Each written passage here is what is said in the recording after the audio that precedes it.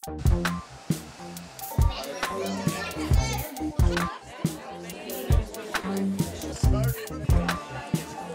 gaan vandaag een heel mooi programma bekijken.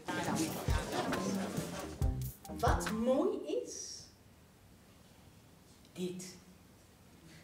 Dit is mooi. Geen radio, geen televisie, geen mobiele telefoon, zelfs geen iPads en Playstations. Er was nog helemaal niks.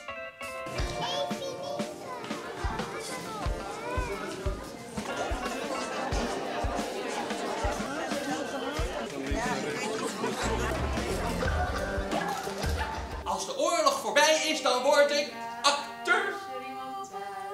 Hij haalde zijn zwaard tevoorschijn en hij hakte het eerste hoofd van dat monster eraf. Het masker van Jorik.